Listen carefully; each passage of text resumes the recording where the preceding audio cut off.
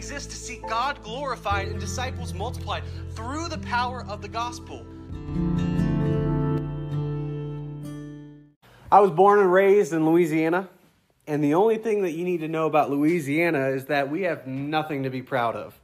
Like, our economy is terrible, school is terrible, the government is a mess. I actually remember going on a mission trip to the third world impoverished country of Honduras.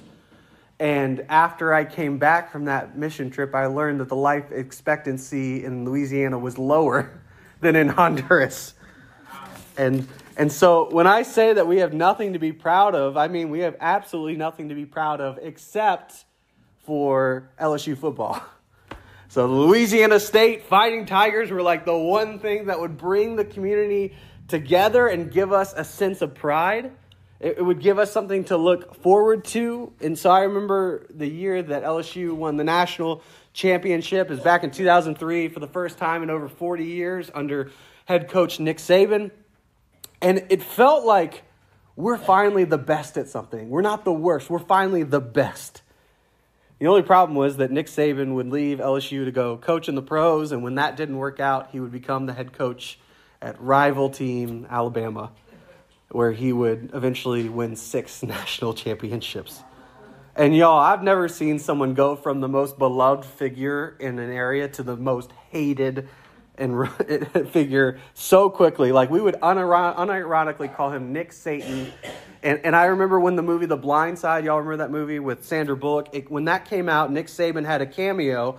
And when he came on the screen, I remember everyone in the theater booed audibly and loudly. And, so I say all this to tell you that it pains me to use Nick Saban as a good example for anything. So, so even though it hurts my soul a little bit, I want to quote Nick Saban. Um, let me tell you what Nick Saban has to say about what he calls the process. Nick Saban says ignore the scoreboards. Don't worry about winning. Just focus on doing your job at the highest level every single play. Now, that is deeply profound wisdom, but it's insanely hard to put into practice because, especially in football, how can you not look at the scoreboard? I mean, I mean, the goal is to get more points than the other guys, right?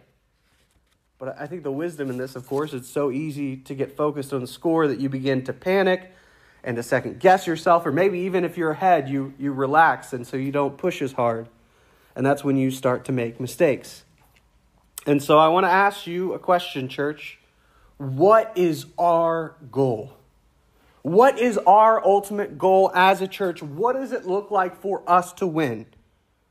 And let me suggest one goal that most church people think should be and is our top goal, like conversions, right? I think most people would think that our number one goal is to see people come to Christ, and that's a good goal. Like, we want that. But if that's our goal, then we're losing pretty bad as a church. I became a Christian in the Southern Baptist, uh, in a Southern Baptist church, and I got trained at a Southern Baptist college, and something I would hear Southern Baptists say all the time is it, it's all worth it if just one person comes to know the Lord. And that's a nice saying, and, and I appreciate what they're trying to do. Say you don't need a thousand people, just just need one. But that saying would kind of haunt me this, this past winter, especially. Next Sunday is going to be my three years as the pastor here. And I haven't seen a single person that I know of come to the Lord. And so, yeah, if even one person came to the Lord, it'd be great. But what happens if no one comes? And, and that reality led me down a kind of spiritual depression and had me thinking, Lord, why did you call me here? Am I supposed to be here? Am I even supposed to be a pastor? Because, because if our goal is conversions and to see people come to Christ, then we're not doing so hot. But what if our ultimate goal is not conversions? What if our ultimate goal isn't more baptisms or more members or more people showing up every Sunday? Like I think those are good and godly. Like there, there's a there's a godly discontent in wanting more people to be in the church. But I don't think those are our ultimate goals. I think there's a much more foundational goal that underlies all of those. What is that goal? Well, if you have your Bibles, please turn with me to Exodus chapter 5. If you're using a Pew Bible, Exodus 5 is on page 56. And as you're turning, let me tell you that Moses had a literal mountaintop experience with God where God audibly and clearly said to Moses to, to go on his behalf to set the Israelites free from their slavery. At the end of chapter 4, Moses went to the elders of Israel. He told them what God was going to do. And not only did they believe Moses, but before God had done a single thing, while they were still slaves in Egypt, the people bowed their heads in worship. Like, like th- this was a mountaintop experience for the people. It's time to, to get freed from our slavery. The Lord's going to do something. But now, in chapter 5, things are going to get way worse before they get any better. And the Israelites are going to get hung up on the scoreboard rather than trusting the process. And my prayer for us this morning is that we, as God's people, would be able to trust in God's promises, even when, by all appearances, it seems like we're losing. Because in Exodus 5, we're going to find four responses. Four responses. First, in verses 1 through 19, Pharaoh will respond in pride. Second, in verses 20 through 21, the people will respond by complaining. Third, in verses 22 through 23, Moses will respond with lament and fourth, we're actually going to go a little bit into chapter 6. The Lord will respond by repeating his promises. So let's pray and then we'll, we'll dive in. Heavenly Father, we know that you called us to take up our own crosses to follow your Son, but oh Lord, some, some weeks the burden just feels too heavy. So this morning we ask you to lighten the load like only you could. And Lord, as, as the word is preached this morning, may, may the sermon that is heard be far better than the one that is delivered by the power of the Spirit. In the name of Jesus, we pray. Amen. Look with me to verse 1. Afterward, Moses and Aaron went and said to Pharaoh, Thus says the Lord, the God of Israel, Let my people go, that they may hold a feast to me in the wilderness. But Pharaoh said, Who is the Lord? that I should obey his voice and let Israel go. I do not know the Lord, and moreover, I will not let Israel go. This question that Pharaoh raises in verse 2 is what the rest of Exodus is all about. Who is the Lord? Well, Pharaoh, you're about to find out. And when you think about it, it's not surprising at all that Pharaoh doesn't know who Yahweh is, because why would Pharaoh care about the God of these immigrant slaves that are working for him? Like, can you imagine someone, someone going up to President Biden and making these kinds of commands? President Biden, my God is telling you to do this policy. I mean, that, that'd just be insane. And, and for Pharaoh, it's not just that he happened to believe in the Egyptian gods and someone's coming to him from a different faith. Like, like if someone who is Muslim went to Biden and said, Allah says this, and Biden's like, I'm actually Catholic, and you know, there's a whole conversation of how Catholic is he, but in this conversation, it's not just that the Pharaoh happened to believe in the Egyptian gods, but Pharaoh also believed that he was an Egyptian god. In Egypt, Pharaoh was one of was the one who was made in the image of the gods. Of all the people in Egypt, only one person is made in the image of God. It is Pharaoh. And he alone was appointed to rule Egypt as the one mediator between the gods and man. And so when Pharaoh says, who is Yahweh, who is the Lord, it's not just that he doesn't know who Yahweh is, it's that he doesn't care. I am a higher and superior God than this one. So Moses and Aaron, they, they try to make him care in verse 3. And then they, they said, The God of the Hebrews has met with us. Please let us go a three days journey into the wilderness that we may sacrifice to the Lord our God, lest he fall upon us with pestilence, pestilence or with the sword. Now, you may be wondering, why are they only asking for three days off when God's plan was to permanently free the Israelites from slavery? Well, I, I, think, and I argued this a few weeks ago, I think this is a test for Pharaoh.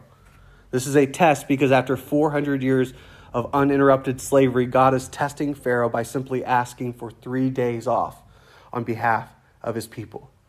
And let's see how gracious Pharaoh is when he takes this test. Look to verse 4. But the king of Egypt said to them, Moses and Aaron, why do you take the people away from their work?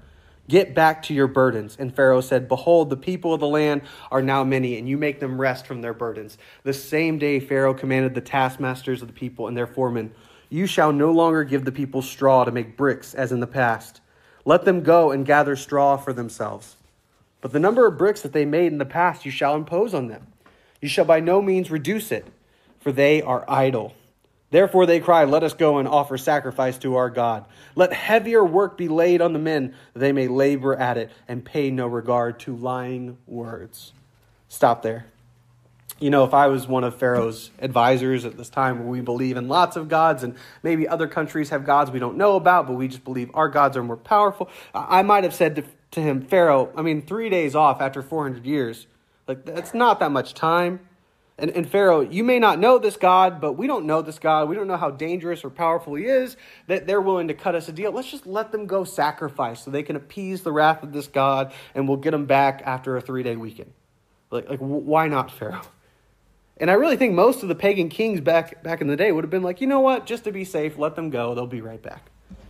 But Pharaoh is so prideful and stubborn and cruel that he would not even grant them the simple request and in verse 9, he even calls Moses a liar. And Moses is God's prophet, means that if, if he's calling Moses a liar, he's calling the Lord a liar. And, and so we, we read on in verse 10. So the taskmasters and the foremen of the people went out and said to the people, Thus says Pharaoh, I will not give you straw. Go and get your straw yourselves wherever you can find it, but your work will not be reduced in the least. So the people were scattered throughout all the land of Egypt to gather stubble for straw. The taskmasters were urgent, saying, Complete your work, your daily task each day, as when there was straw. And the foremen of the people of Israel, whom Pharaoh's taskmasters had set over them, were beaten and were asked, Why have you not done all your task of making bricks today and yesterday as in the past? Then the foreman of the people of Israel came and cried to Pharaoh, Why do you treat your servants like this? No straw is given to your servants. Yet they say to us, Make bricks, and behold, your servants are beaten, but the fault is in your own people. But he said, You are idle. You are idle. This is why you say, Let us go and sacrifice to the Lord. Go now and work. No straw will be given you, but you must still deliver the same number of bricks. The foremen of the people of Israel saw that they were in trouble when they said, You shall by no means reduce your number of bricks, your daily task each day. Stop there. I will just be the first to admit that I have a horrible memory. I've got terrible attention span issues. I think Lois knows this more than anyone is she's been working as the treasurer and Tom will find out very soon. If I don't write something down, I will forget it. And, and even if I write it down, there's a 50% chance I'm losing that piece of paper. It's, it's gone. And so most of the time, you have to tell me something two or three times before it really sticks. Please pray for Katie, y'all. So when I was reading this passage, something did catch my attention because as, as, I was just reading this over and over, I'm like, why is it repeating so much? Like the same words and the phrases over and over again. We hear the words straw, bricks, task, taskmaster over and over again. Uh, we, we hear Pharaoh's order at least three or four times in different ways rephrased, but it's the same order. Just, just this could have been said in five verses and it spans out to 20. So what is going on here? Well, remember, the Bible wasn't primarily meant to be read, but heard. And what I mean by that is throughout most of human history, most people couldn't read. And so you would go to a synagogue and someone would grab the scroll of Exodus and they'd pull it out and they would read it out loud to the whole congregation. And, and, and I think the reason why we get so many words and phrases repeated is it's, it's supposed to catch the attention of your ear. And these words and phrases are very deliberate words and phrases that only show up in one other story in the Bible. And I, and I, think these words are supposed to remind you of that other story. What story is that? I think Moses wants us to think of the Tower of Babel. Because only, the only time in the entire book of Genesis the word brick shows up is in Genesis 11, where they make bricks to build the Tower of Babel. It's this very unique word that's only used in uh, Genesis 11. It's used in Exodus 1 when the Pharaoh enslaves the Israelites, and then it's used here several times in Exodus 5. And so, um, let me see. And so, and even in verse 12, uh, when it says the people were scattered to find straw, that's the exact same word used in the Tower of Babel story for when God scattered the peoples across the earth after he confused their languages. And, and, and so, even though I doubt when you heard this passage read aloud that you're like, Tower of Babel, I, think if you were an ancient Israelite and you had heard these stories over and over, Moses wants you to make the connection that Egypt is the new Babel. That if you're an ancient Israelite, you're like, oh, Egypt is the new Babel. I got it. Why does Moses want us to think of Egypt as the new Babel? Because any nation that seeks to make a name for itself rather than a name for the Lord through oppressing and abusing the weak and the powerless is a nation that has adopted the spirit of Babel. I think that's even why when we get to the book of Revelation, we find a tale of two cities, a tale of an earthly city of Babylon the Great and the heavenly city of the New Jerusalem. Like, you know, I'll say, I love America, but do not make the mistake of thinking that America has not adopted the spirit of Babylon. Because as much as I'm proud to be an American, I'm thankful that I was born here. I'm thankful for the rights that we have here. The reality is is that we have a long history of slavery and discrimination and abuse just like in Egypt. And even today, as the weakest and most vulnerable members of our society, the unborn are slaughtered daily in their mother's womb. I think that we look a lot more like Babylon the Great than we do the New Jerusalem. And, and, and this isn't just like an American bashing session. I, I think this is true for any nation that sets itself up to make a great name for itself, that will ignore the commandments of God through abuse, through harm, through oppression. And, and, and right here in this chapter, Egypt has adopted the spirit of Babylon. In the Garden of Eden, God designed man to rule over the beast, not man to rule over man. And the reason God designed for uh, God designed man in the first place was not for man's own glory, but for God's glory. And in the Tower of Babel, what we saw was man seeking his own glory. And now in Exodus 5, we see Pharaoh seeking his own glory by abusing and enslaving his fellow man, his fellow divine image bearers, even though, of course, Pharaoh would deny that they're made in the image of God like he was. And now that Pharaoh has turned up the heat, the people do not respond well. Look to verse 20.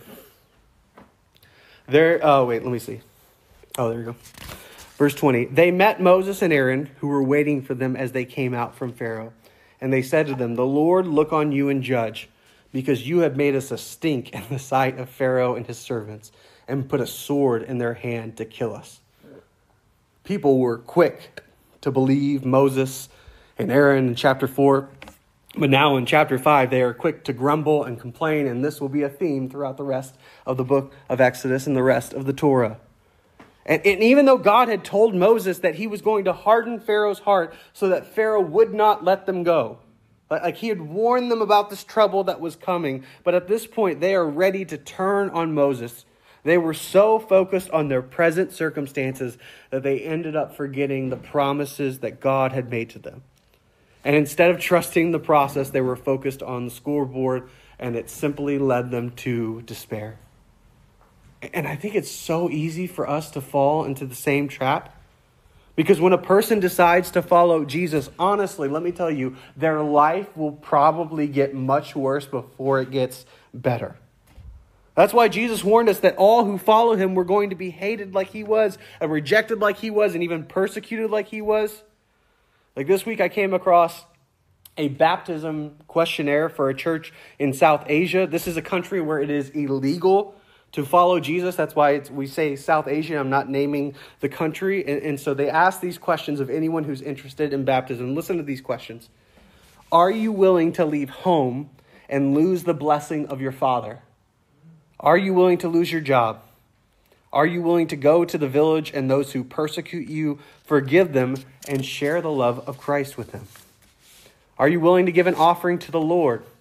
Are you willing to be beaten rather than deny your faith? Are you willing to go to prison? Are you willing to die for Jesus?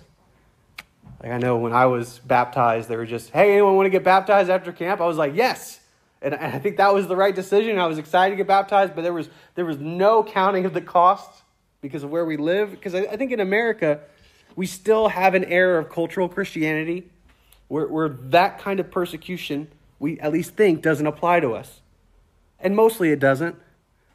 But Jesus did give us the warning that the world was going to hate us and reject our message and persecute us. So when you're mocked for your faith and looked down upon, let me ask you are you tempted to grumble and complain and give up on the mission? The Israelites were certainly tempted to. Pharaoh responded in pride, the people responded by complaining, but I want you to look and see how, how Moses responds in this situation. Look to verses 22 through 23. Then Moses turned to the Lord and said, O Lord, why have you done evil to this people? Why did you ever send me? For since I came to Pharaoh to speak in your name, he has done evil to this people, and you have not delivered your people at all.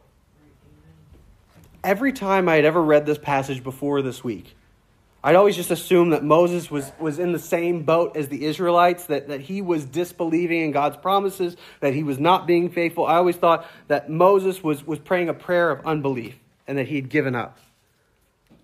But this week, I don't, I don't, I don't think so. I, I don't think that's, that's what this passage is saying.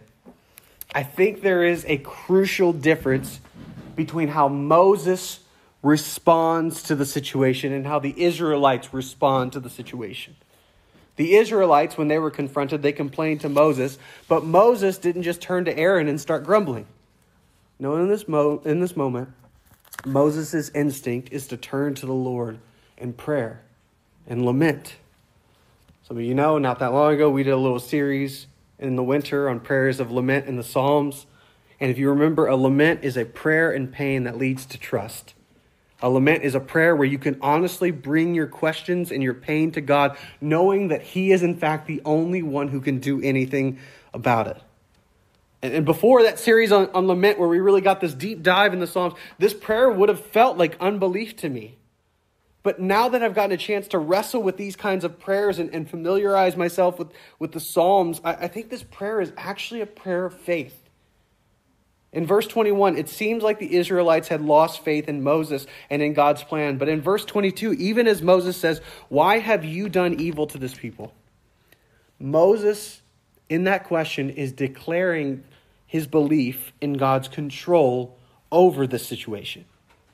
Now, Moses knows that God never does anything evil, and that's why in verse 23, he is clear that Pharaoh is the one who has done evil. But as Moses is wrestling with these questions, he's quick both to affirm God's absolute sovereignty over the situation and Pharaoh's absolute responsibility for his sinful actions.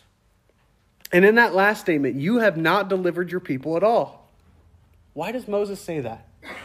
Moses is calling on God to act according to the promises that God had already made. Something that would absolutely revolutionize how you pray. Somebody told me this like 20 years ago, and it still changes the way that I think about prayer. Prayer is not asking for things that you want, prayer is primarily calling on God to act based on what He has already promised. And this is how everyone in the Bible prays God, you have made this promise. God, please answer this promise. And, and that's why, you know, you pray for a Lamborghini and God doesn't, He hasn't promised that. Like, like there's, there's so many dumb prayers that I hear. And like, you know, you're not supposed to say that, but there's just dumb prayers that I hear sometimes around. And if we pray based on what Scripture declares to us and promises us, we can know that those prayers will be answered. Not always in our time frame. They've been 400 years in slavery, and the people expected day one, we're ready to go. But God's like, no, this is going to take some time. It's on, we're on my timeline, not yours. But I think it's still fair in this Moses in, in this moment for Moses to feel conflicted as the people hate him, they're rejecting his leadership. Again, people are getting beat even though they don't deserve to. They're they're only doing right. They're not being beat for good reason. So, so I, I feel the emotional turmoil of Moses in verses 22 through, through 23. And, and, and so the beauty of lament is this is that when someone prays a prayer of lament, God invites us to honestly bring our questions and our emotions to Him in a way that will help us to process our pain so that in the end we can put our whole trust in Him. Amen. And here, Moses, notice, Moses is not just asking these questions for his own sake, but Moses is acting as a mediator for the people of Israel.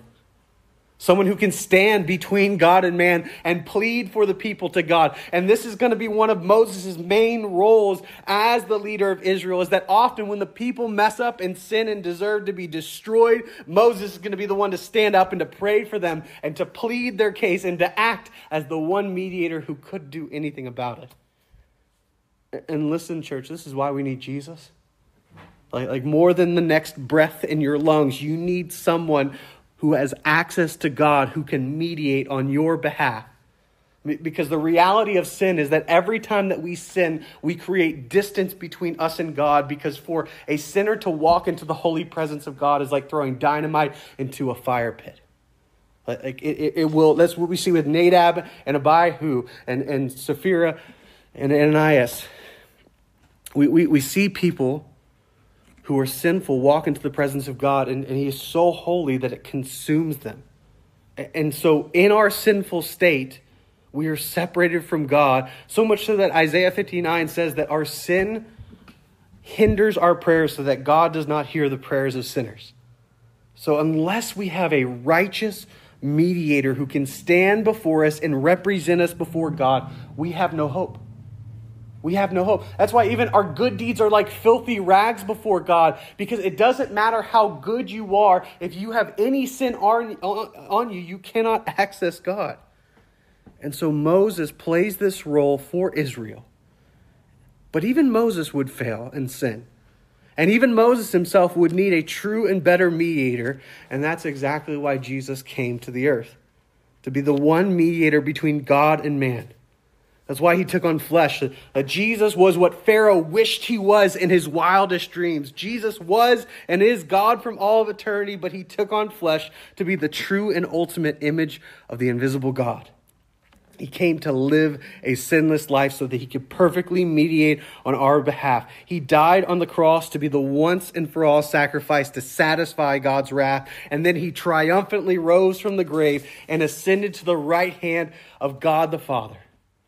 And let me tell you, if we get all of the gospel of Jesus' death, burial, resurrection, but if he is not at the right hand of God and we have no mediator, we have no hope.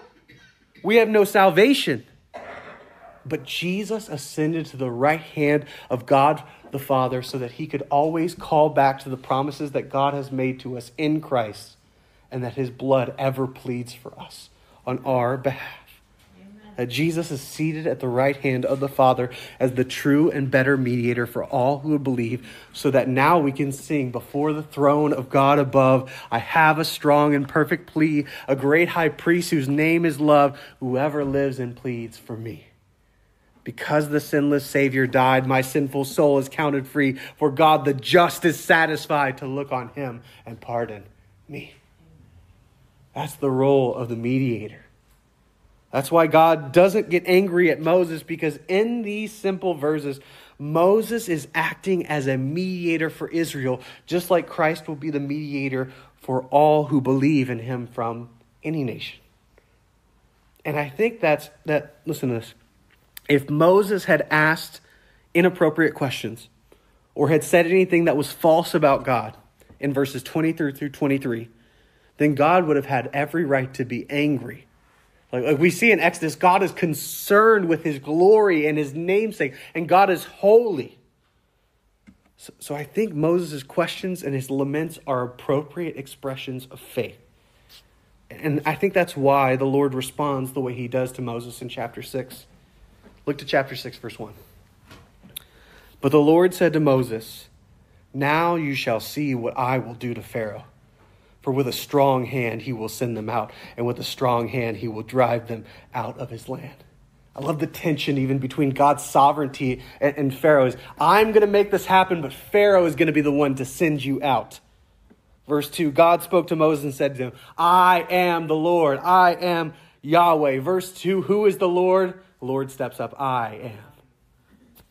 Verse 3 I appeared to Abraham, to Isaac, and to Jacob as God Almighty, but by my name, the Lord, I did not make myself known to them. I also established my covenant with them to give them the land of Canaan, the land in which they lived as sojourners. So notice this. In this moment, God said, All this land is going to be yours. And Abraham, Isaac, Jacob all died, never having except a small graveyard. Like that's all they got of the promised land in their lives. So he's like, I made this covenant hundreds of years ago, and I'm continuing to keep my word. Verse 5 Moreover, I have heard the groaning of the people of Israel, whom the Egyptian hold as slaves, and I have remembered my covenant. Why, in Yahweh's sovereign plan, did he ordain for Pharaoh to take away the straw and mock the people and mock Yahweh's name and to beat their leaders? God doesn't tell us why. Like, like in this response, you notice God did not answer Moses' question. But, but I, I think even like, you know, we saw that eclipse a few months ago where, where, where the moon overtook the, the sun in this glorious display. And let me ask, in that eclipse, did the sun stop existing? No. No. It's, it simply got overshadowed by a greater reality. And in this passage, Moses' questions don't get answered and they don't go away, but they do get eclipsed by the reality of who God is. God never answers Moses' question. He simply says, Now is the time when you see what I will do to Pharaoh. Can, can I give my theory? I just, I just I thought about this a lot this week. my theory is that if they had strolled into Egypt and God had given them immediate victory and success, they would have been incredibly prideful and they would not have relied upon the Lord. That God had to humble them through this experience and give them a taste of failure so that their dependence upon the Lord would be deeper. And, and of course, I, love John Piper has this quote. He says, God has 10,000 reasons for everything that he does, and we might be aware of three of them. So that's my one of 10,000 reasons why God maybe did this. And I, and I think even of my reflections in, in, in this church, and, and as I was praying about this and working through this spiritual depression, I went to this conference in Florida, and I, and I remember one of the speakers was talking about pastoring. He said, One of the worst things that God can do for some of you is to give you a church that grows, because then you won't depend on Him and rely on Him. And I think, oh, that broke me. I was like, oh man. I think that would have been terrible for me because I, I wouldn't have been able to grow and be put in a place of, of seeing Christ as my ultimate treasure, regardless of numbers, right? And, and I think in this situation, it would have been so easy for them to get puffed up of like, look how great we are when God's doing all the work. Where God says, let me humble you and show you how weak you are before I'm going to deliver you. So that's my theory. In verse 2, in response to Pharaoh's question, Who is Yahweh? God says, I am Yahweh, the God who appeared to Abraham, Isaac, Jacob, El Shaddai. Like, have you ever heard someone in church call God El Shaddai? It comes from Exodus 6 3. El Shaddai simply means God Almighty. Verse 3 does raise a lot of questions that people debate because we read, But by my name Yahweh I did not make myself known to them. Which doesn't make any sense because if you read Genesis God repeatedly calls himself Yahweh to Abraham, Isaac, Jacob. So, what's going on here? Some scholars think that God is saying that in the book of Exodus, he's going to more fully reveal the meaning of the name Yahweh. He's going to give a fuller revelation of that name. Other scholars think that verse 3 should actually be translated as a question. I'm not going to get too nerdy into the details of, of Hebrew, but just know in, in Hebrew there are no question marks. So you kind of need to use the context to figure out if it is a question. And I'll just say, verse 3 can be translated to say this But by my name Yahweh did I not make myself known to them. And that would make way more sense. Oh, yes, of course I made myself known in the past. So, whichever view you take, and there's like 10 other views, I think it's vital to understand that in verses 1 through 5, God does not tell Moses anything new in these verses. Everything in these verses was contained in Exodus 3 and 4 when Moses spoke to God in the burning bush. In verses 1 through 5, God is simply reminding Moses of all the promises that he has already spoken to Moses in this book. And this is why I, I use this phrase all the time that we need to preach the gospel to ourselves every day. What do I mean by that? Because I feel like I use this phrase so often. I had someone finally say, Pastor, what is that? What does that mean? And I'm like, oh my goodness, I'm not being clear about what I mean. Let me tell you what I mean. I mean that in the same way that you would go to someone who does not know Jesus and you would tell them about the life, death, and burial and resurrection of Jesus and how he can forgive you and make you clean and hold you fast. When you are tempted to despair, you need to share the good news of Jesus' life and death and resurrection and grace and forgiveness with your own soul. You need to remind yourself of all of Christ's promises and, and, and meditate on God's word and take it in. And in these verses, in response to Moses' lament, the Lord knows exactly the words Moses needs to hear.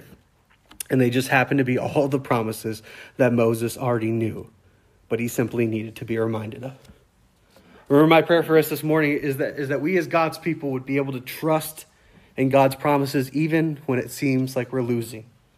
Because in Exodus 5, we find four responses. Pharaoh responded in pride, the people responded by complaining, Moses responded with lament, and the Lord responded by repeating his promises. So let me ask you, how do you feel this morning?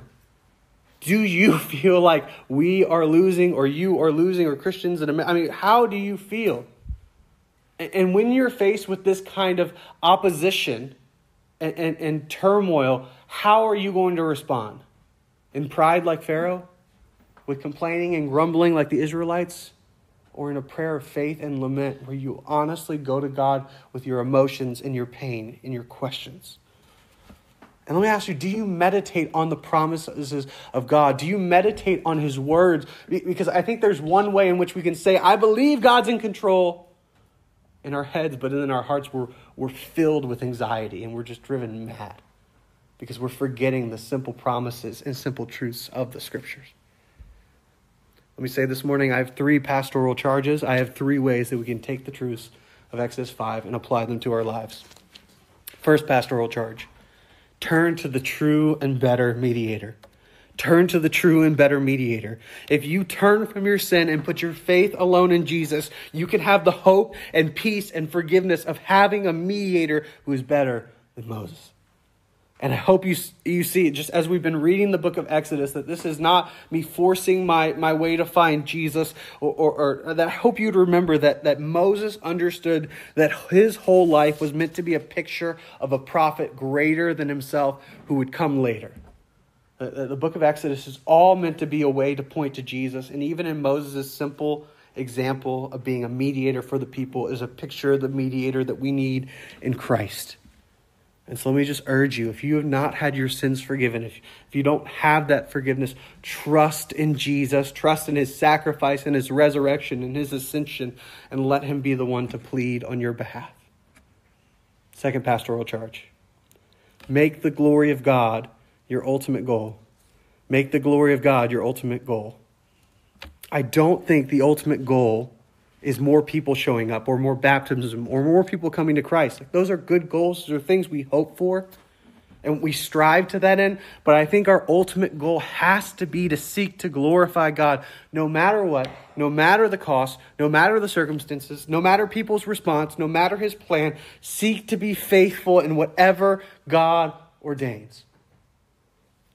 If faithfulness means facing persecution and unbelief, glory to God.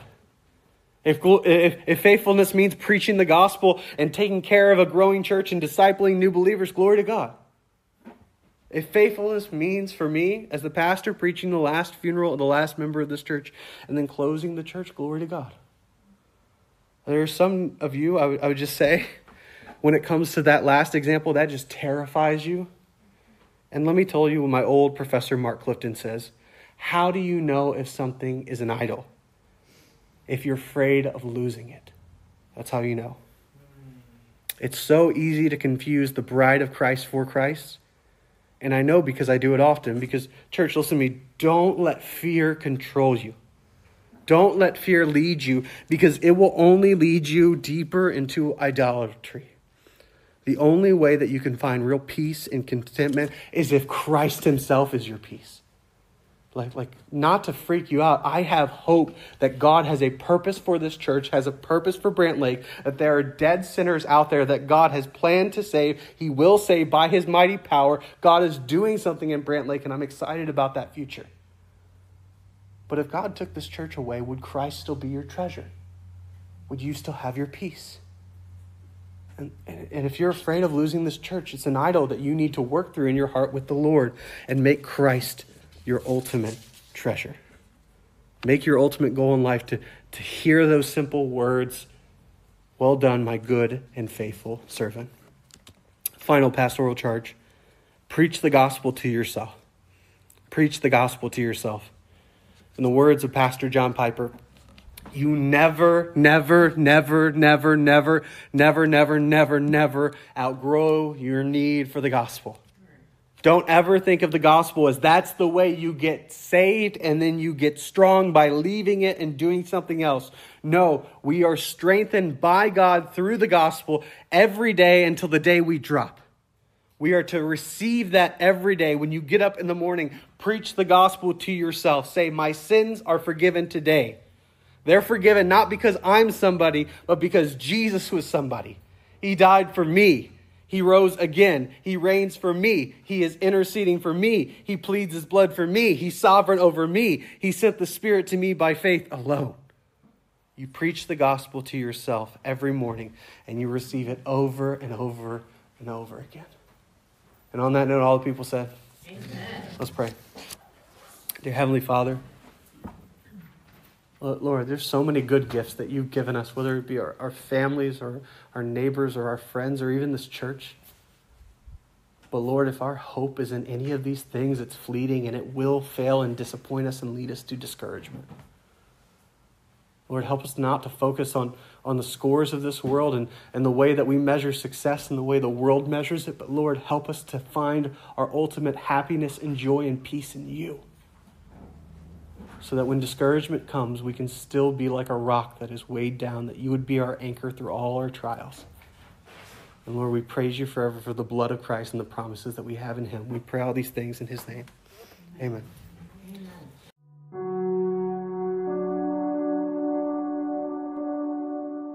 Hi, Taylor Callen, pastor of Horicon Baptist Church. Thank you so much for listening to this sermon. I pray that you are more encouraged and love Jesus and the gospel more after hearing the sermon than when you first sat down to listen to it.